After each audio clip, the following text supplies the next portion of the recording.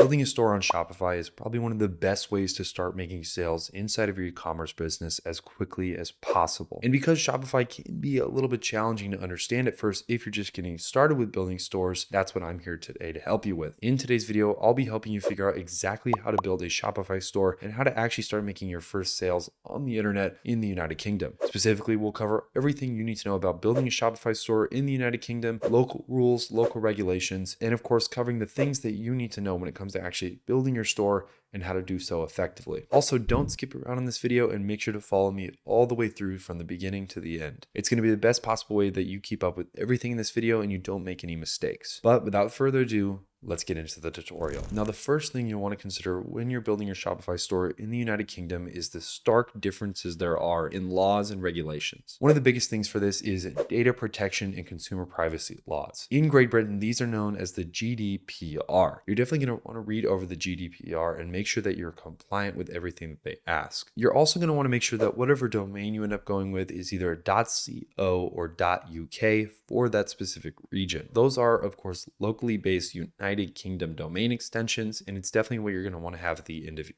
website. One of the greatest things you want to consider too is actually the local language that they use. Now, of course, people in the United Kingdom do speak English. However, it is important to realize that they do spell quite a few words a little bit differently, meaning that for a word like color isn't spelled C O L O R it's C O L O U R. And then, of course, there's other stark differences in that as well. And then, of course, for the rest of this, you want to make sure that you're keeping in compliance with local norms, customs, and traditions, making sure that you're within the cultural norms and practices of, of course, the United Kingdom. Now that we've talked about some of the technical aspects of though, let's get into the actual tutorial. Now, the first thing you want to do to get access to the best deal possible when getting started with Shopify is by using the link down in the description. Once you click that link, you'll be taken to a page that looks like this. This is Shopify's first page that you'll see when you use that link, and this is how you're going to get access to your first month for only one pound. This is a pretty awesome deal. What this means is that you can start building your Shopify store, get everything set up properly, and of course, even start making revenue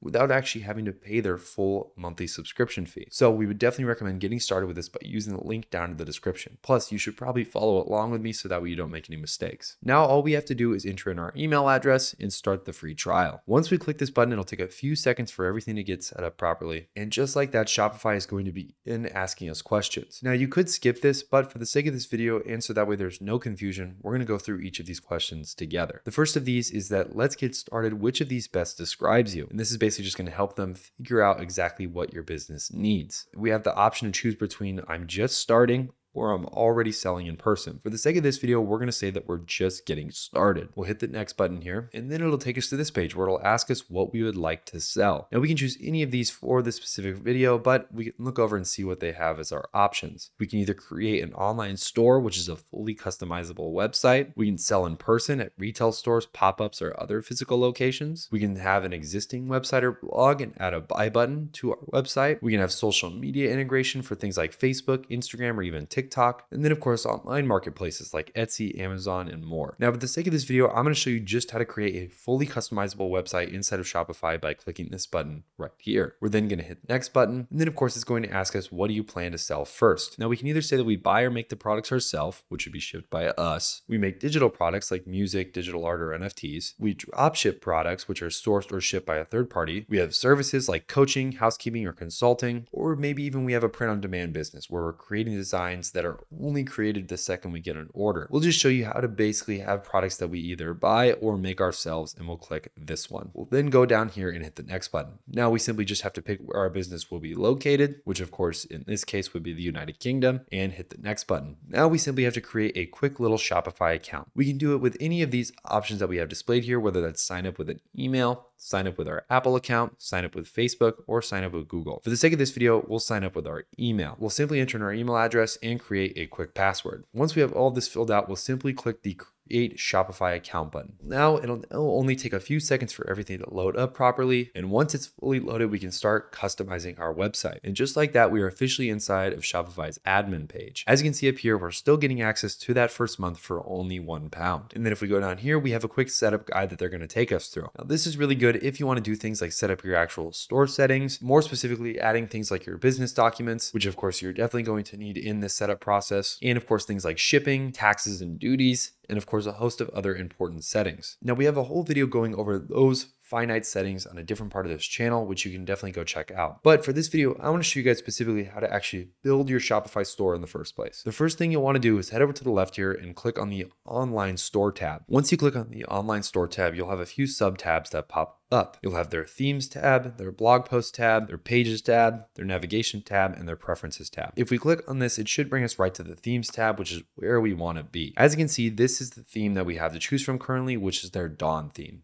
The Dawn theme is a default theme, so that is what we'll probably end up going with. Just to show you guys though, there are a ton of Shopify templates and themes out there that you can choose from, each of them specifically designed towards a specific type of product or type of store that you're trying to build. Now, if we want to actually start making changes to this overall theme, we'll simply head down here to where it says customize and click this button. Now, as you can see, we are officially inside of Shopify's store editor. This editor itself is extremely easy to use and it's super user friendly. I'm going to walk you through step by step each part of this store editor and show you how to use it to the full capability. Now, first things first, if you guys want to look at any parts of your website, you simply just click on that part of the website. And then on the left, you'll pop up with a little tab here where you can start making edits to the settings. The first thing here is something like this with the desktop logo position. We can change it to the top left, the top center, the middle left, or the middle center. Below this is our menu option. This is where we can change the way the menu looks or even add a brand new menu altogether. We also have our desktop menu option, our sticky header, our color scheme, which we can actually change pretty easily here, our menu color color scheme, which we can also change very easily. Our country region selector, which is going to be important that you choose obviously Great Britain, language selector, customer accounts login, and a host of other super helpful mobile layout editing things that you can do for people that are using an iPhone. Now that's basically how you can access and start making simple edits, but what if I want to change things like this big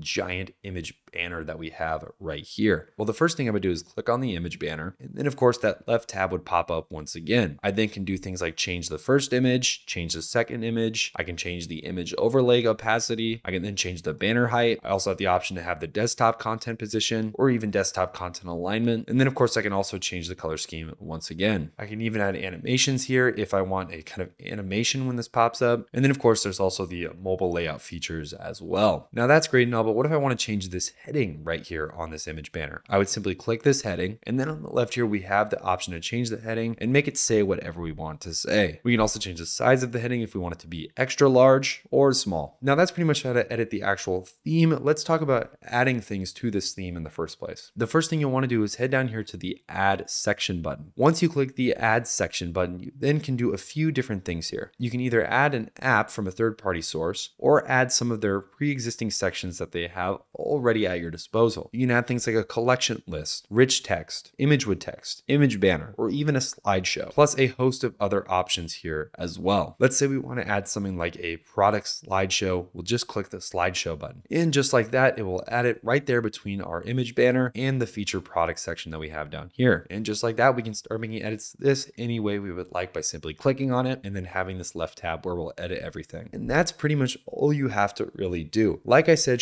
Shopify is super intuitive and incredibly easy to use. If you guys are curious about getting started with Shopify, make sure to use the link down in the description of this video. It's how you're going to get access to the best possible deals and get an amazing discount in the process. Plus, you'll be able to get started with Shopify for only $1 for your first month which is a huge benefit. Also, please remember that this is an affiliate link and we do earn a small commission from each signup that we get. So thank you in advance for supporting the channel. Hopefully you guys enjoyed this video and I'll see you guys in a future video.